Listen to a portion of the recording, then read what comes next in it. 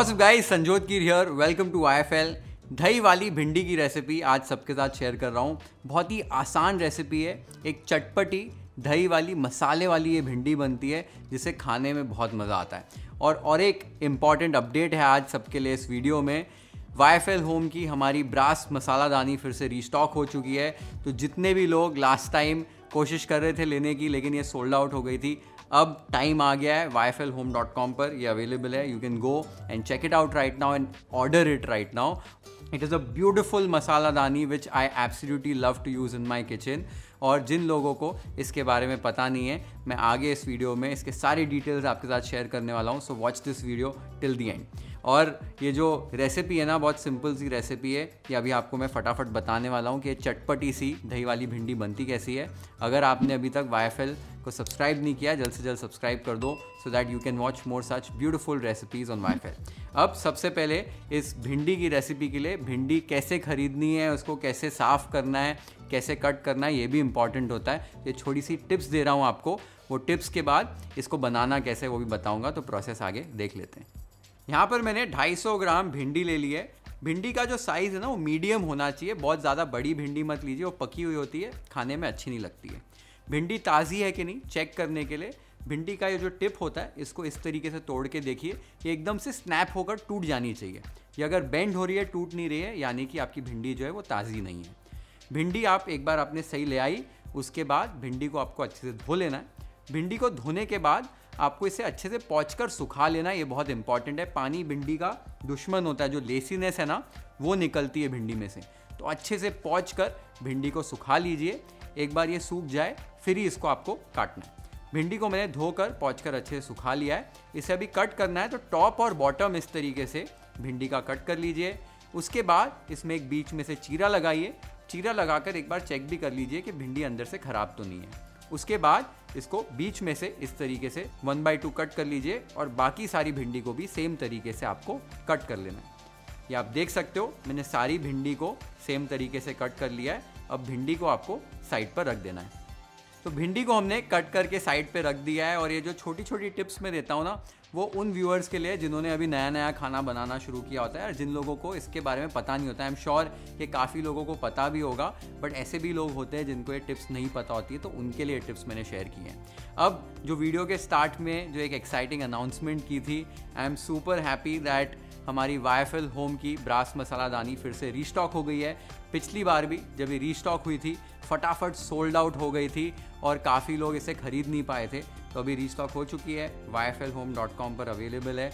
जल्दी से जल्दी जाकर आप इसे ऑर्डर कर सकते हो।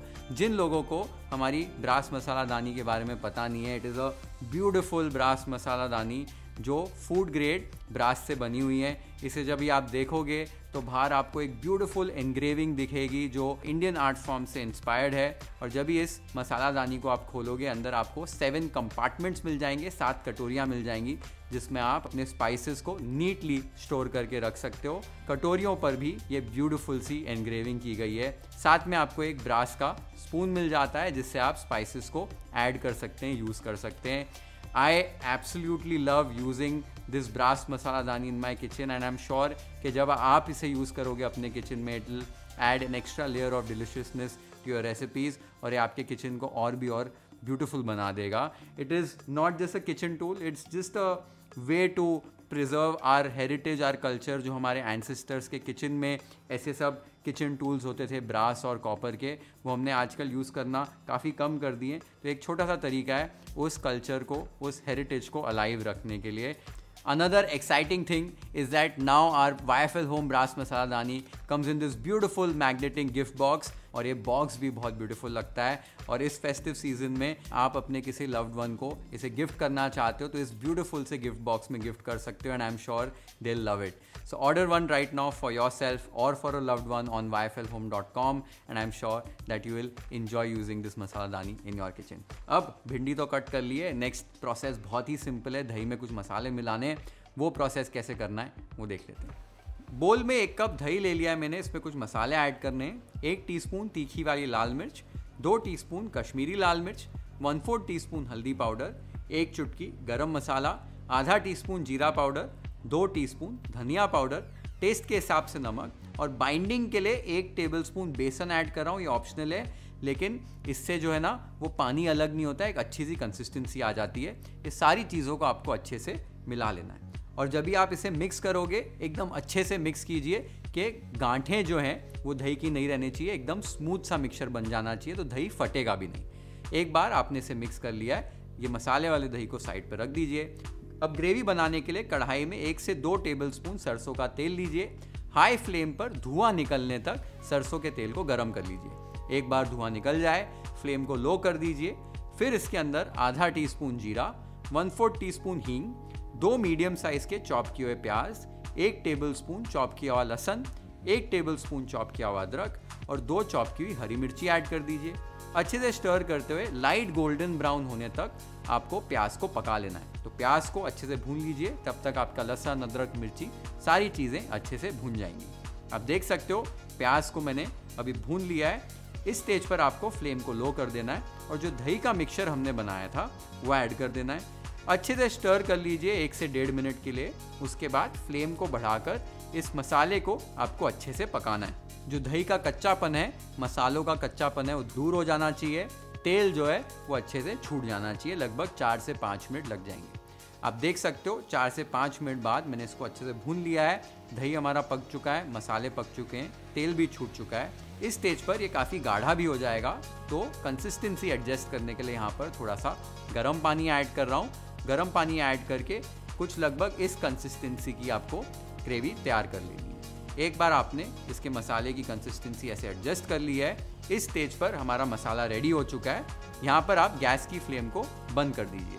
साइड में आपको भिंडी को पका लेना है। पैन में एक टेबल स्पून तेल डालिए, तेल गर्म हो जाए तब एक इंच अदरक के लच्छे, दो स्लिट की हुई हरी मिर्ची और जो भिंडी हमने काट कर रखी थी, वो ऐड कर दीजिए।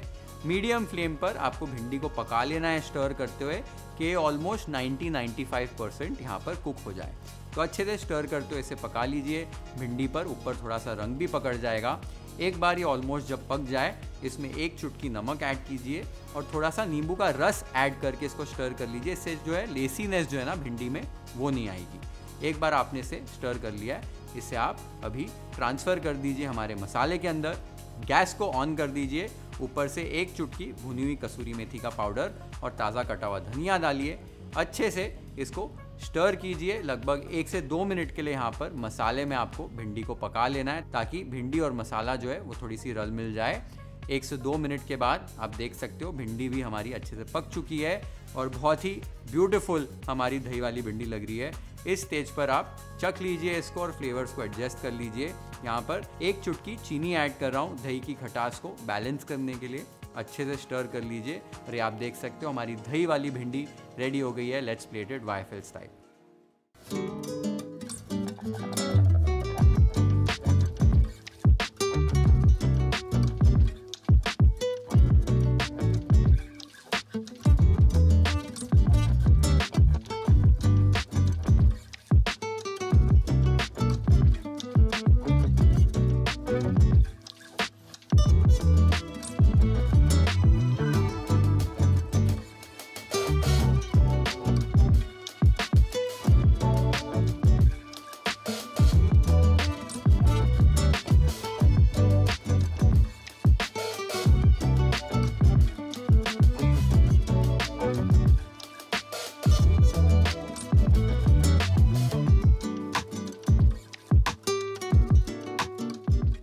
दही वाली भिंडी बनाना कितना आसान है, आपने देखा। बहुत ही डिलिशियस बनती है और यूजुअली आप अलग तरीक़ों से जब भिंडी बनाकर थक जाओ, ये वाली भी ट्राई कर लो। जितनी भी तरीके से भिंडी बनाओ, भिंडी तो मेरी फेवरेट सब्ज़ी है।